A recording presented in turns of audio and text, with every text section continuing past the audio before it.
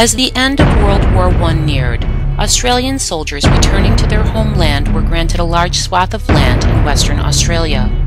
With the intent of building and farming the land, soldiers flocked to the area in hopes of a simple and prosperous future. Much to their dismay, soldiers encountered a scene more frightening and perilous than any they had experienced in the trenches.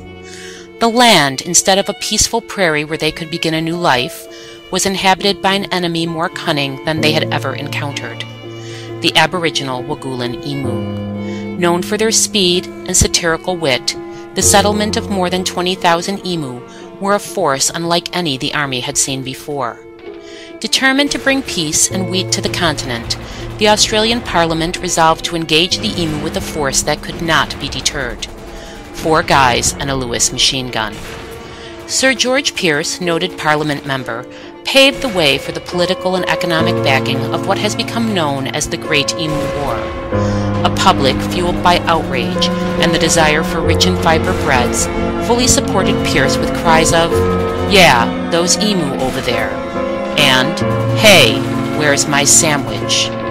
Knowing that pastrami just can't be eaten on white bread, Pearce hardened his resolve and appointed the highly decorated commander, Major G. P. W. Meredith, to lead an assault on the hotly contested Campion region.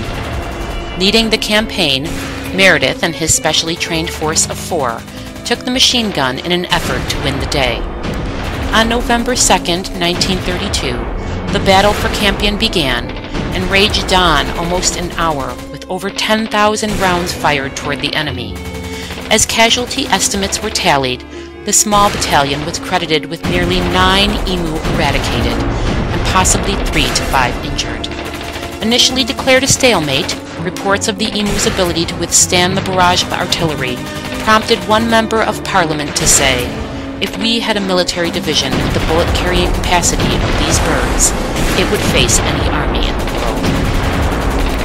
After the battle at Campion, a shift in the emu tactics prompted a new battle strategy.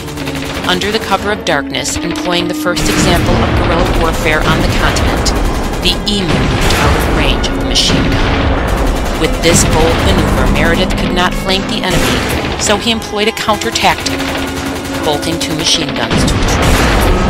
In what would become known as the Battle of Meredith, the emu cunning and battle strategy was put to the test.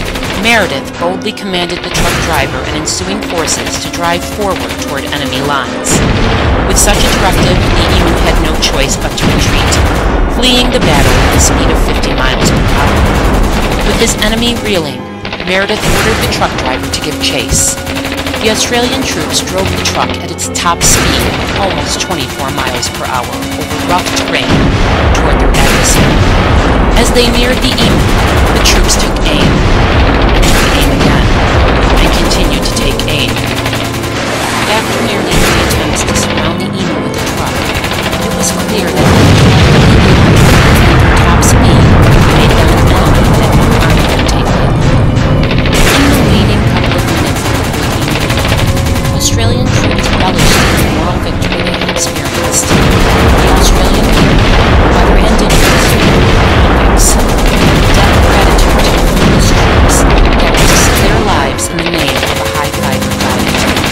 With a total of at least seven killed or captured, and another dozen or so injured, the Great Emu along with lower import tariff laws, paved the way for the enriched breads of many economies.